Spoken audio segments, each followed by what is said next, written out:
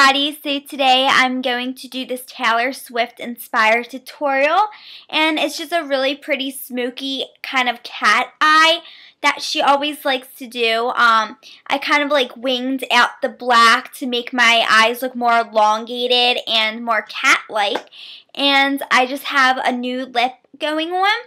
So I hope that you guys enjoyed the tutorial that you're about to see. I'm going to be using this Coastal Scents 88 color eyeshadow palette. This is the regular one without any shimmer. It's matte.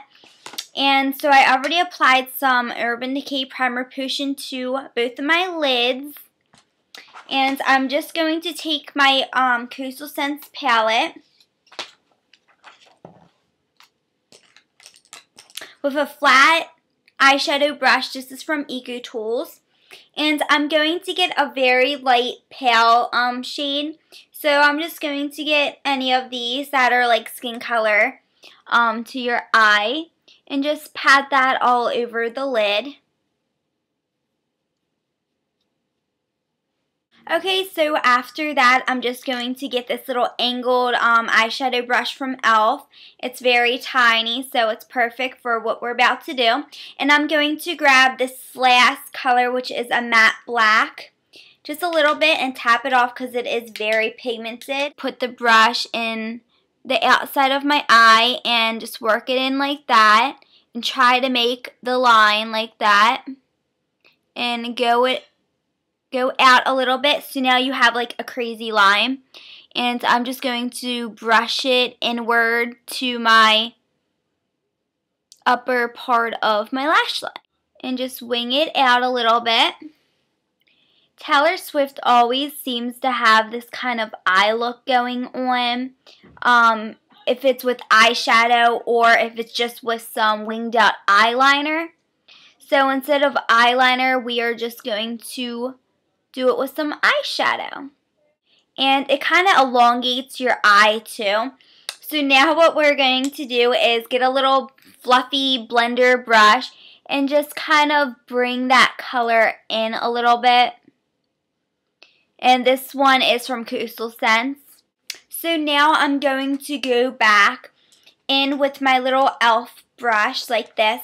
And this time I'm just going to get a shimmery kind of shade for um, the black part. And this is in Night Sky 240. It's a little Maybelline eyeshadow.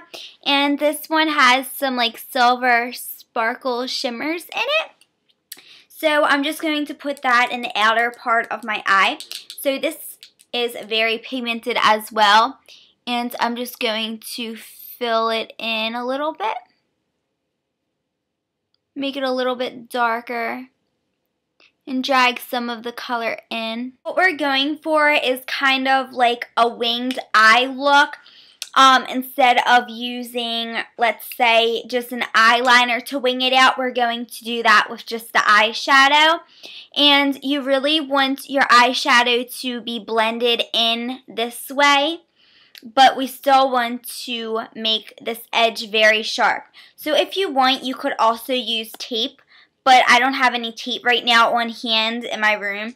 So I just kind of did it by freehand.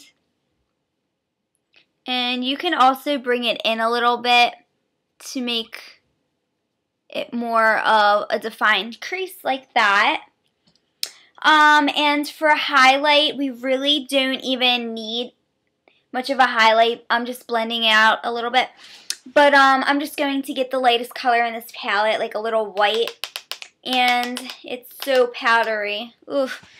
So I'm just going to dust that under my eyebrow and kind of bring it inward done with the eyeshadow, so I'm just going to line the upper and bottom of my lash line and my waterline with some Soft kohl by Rimmel London. It's just the black kind. And I'm going to put on my eye magnifier um, in 001 Black from Rimmel London, and I'll be back to show you what that looks like. Okay, so I just applied my mascara, and I applied my Rimmel London soft kohl um, eyeliner. And I totally forgot this step, but I have some of this black um, shimmer and it is from Icing. It says body glitter, but I'm going to put some um, on the wing part of our eyeshadow so you can see all of the glitter that is on my brush.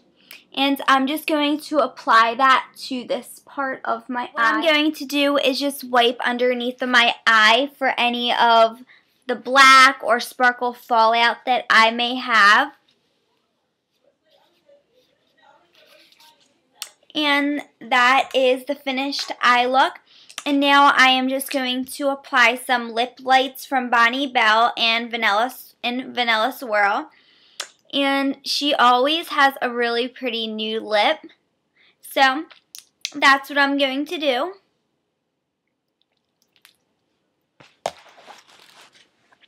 So this is the finished look. I hope that you guys enjoyed my tutorial and I will have some pictures at the end of this and the beginning for you guys to see a better look of it.